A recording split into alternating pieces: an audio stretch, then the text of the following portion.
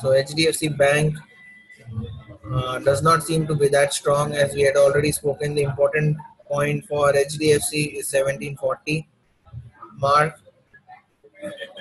And a quick selling took place around 1780 right so now whether it will defend 1740 or not fundamentally it is an amazing stock. So mostly it will defend the 1740 levels. And we can find quick reversal happening along this level right? But uh, when will hdfc bank reach 1780 mark is only after uh, the results. So in the month of october we can see hdfc going higher and making fresh highs prior to the result. So ideally the range of hdfc is narrow. It will remain in this 1740 to 1780 levels. And if we see HDFC is on the downside, okay, hence Bank Nifty is not finding any big support.